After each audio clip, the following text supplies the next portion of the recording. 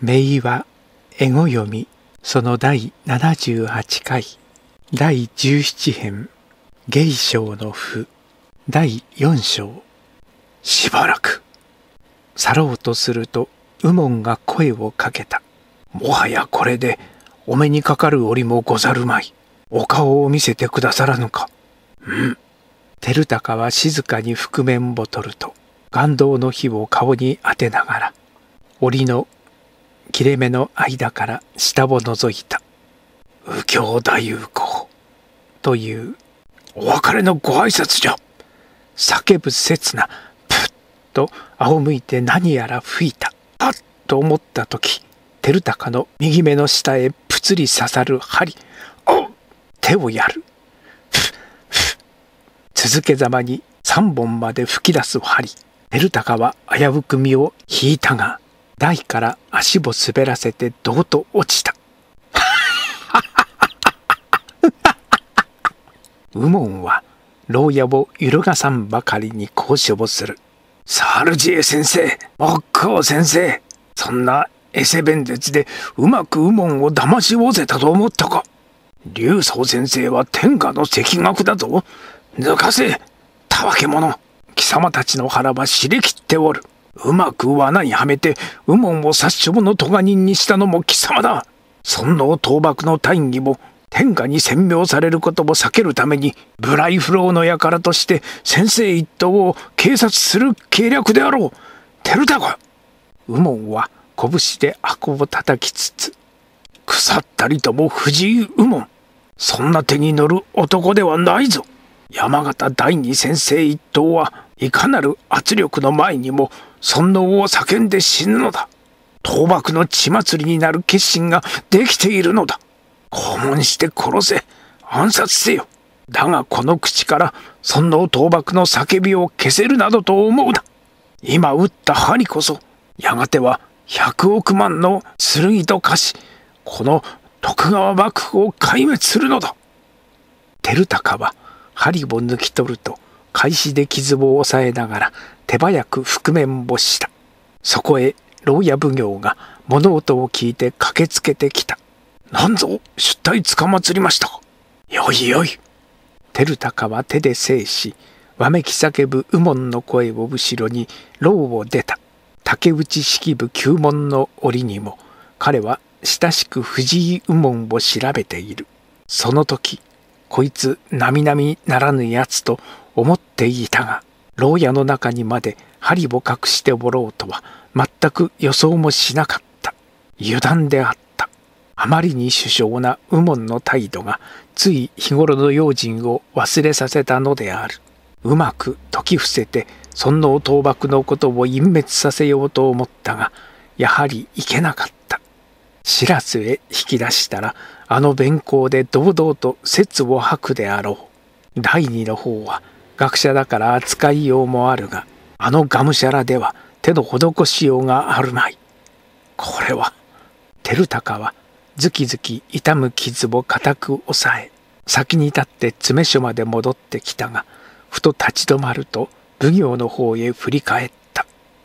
職を取らぬそうだな。は用もない囚人じゃ。好きにさせるがよいであろう。それからと声を潜めて初期に向かうゆえあの様子では生命のほどもおぼつかなく思われるがの。何か意味ありげだった。牢屋奉行はじっと照高の目を見つめて「あ薬をの。迷薬を与えて早く一日も早く回復を図るように。承りまする。頼む。照高はうなずくとすっと牢屋を出た。小天満町を出た籠。密かに四五名の武士に守られて屋敷へ向かう途上照高の胸には山形第二捕獲のことが決意していた。急がぬと無能な町奉行若年寄どもの手で問題が行われる。ここで尊王論などを解かせては幕府の傾聴を問われるもとだ。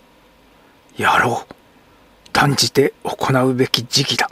京都で竹の内式部を求問した照高は幕閣の愚昧な手合いに任せて万一にも山形一党を尊王倒幕論者として切りでもされては近帝へのはばかりはもとより天下民心の離反を招くであろうことをよく知っていた。照高は立った。彼は山形第二一党を不老不穏の徒党として一網打尽にしようとする。第五章。もし一点の君を尊ばざる者ありとせばそれはすなわち俗心である。駒込高林寺の高土母には54人の超高生が山形第二の烈火の弁に魅了されていた。その日第二の口絶は初めからかつて見なかったほど強撃で鋭く直接に幕政攻撃に向かっていたまたもし上に君を報ぜざる祭りごとありとせばそれは逆性と言うべきである。今日まで私が諸子に講じたところの主位は、これらの族に天柱を加え、道を長くするためのものに他ならぬのだ。道とは何を指すか、言うまでもなく皇室を交流することである。しからば、族とは何ぞ。族とは幕府である。天柱とは何ぞ。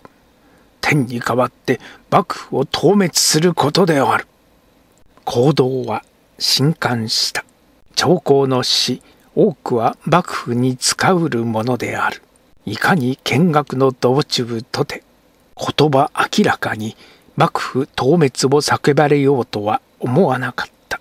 いずれも身動きならず眼色を失った。釈問す道中に突然声を上げたものがある。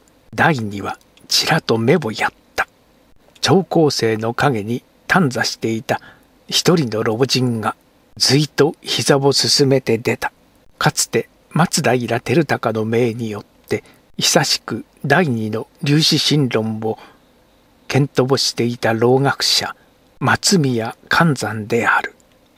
先生何のよりどころあって幕府を俗に例えられるか。皇室を軽んじ奉ると言われるが幕府の奉公を薄しといえども救出の栄光拝礼の儀あるに際しては幕府また必ず死を奉り。古実有足の天教を曲げざること世情のよく知るところである。古実有足の曲げられざるを道の正しき証とするか。第二は鋭く返した。中治の言に曰く、因はかの霊により染益するところ知るべく、衆は陰の霊による。損益するところ知るべしと。宇藤は古の聖人なり、カインは古の聖でなり。なお、かつ一切これによれば、すなわち行われざるにしかずである。幕府よく皇室に死を奉るというがしからば現に見るところ恐れ多くも半日の苦後の量さえとかかせたもうはいかん。苦後の量にご不自由あらせたもうや否やは我ら下民の口にすべきところならずというのであろう。第二は声を励ましその言葉こそ尊王の大義を忘れしむる妄論である。そもそも日本国は伊豆方の領土であるか。普天のもと、そっとの品。一層遍歴に至るまで、これ万女母の君の白示すところ。幕府は万女母の君の大官に過ぎぬこと、三歳の土持ちも知るところである。しかるに、その大官の居女母にして、豪華全備を尽くし、皇室の水尾を顧みず将軍にして陰逸有楽に飽き万女母の君にして久後の領に事欠かせたもうとせば大官たる幕府の官中は論ずるに及ばぬところではないか。恐れ多きことながら久後の領乏しき一例を述べてみよう。第二は襟を正し賢くも主女母には毎年とも関白以下の天上人にご祝賀の狂然を賜るの試しであった。ご共演には主情も質疑を増し増し、ご倍食を賜るのであるが、ある年、大前職において鶴をお買い上げになることかなわず、鶴の代わりに焼き豆腐をお持ちになった。その折主情には、お箸にて焼き豆腐を挟み荒らせられ、今年の鶴はこれであるぞとお示し遊ばされ、賢くも軍神にお詫びあらせられるご風情であったという。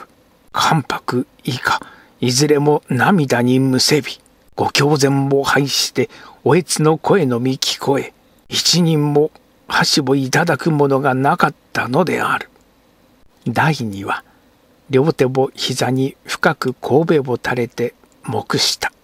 道内は森のごとく静まりあえてせくものもない名はエゴ読みその第78回第17編芸章の譜第5章途中まで。2021年10月6日。